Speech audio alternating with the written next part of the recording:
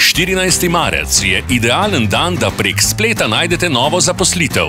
Ne zamudite prvega online kariernega sejma. Prijavite se čim prej.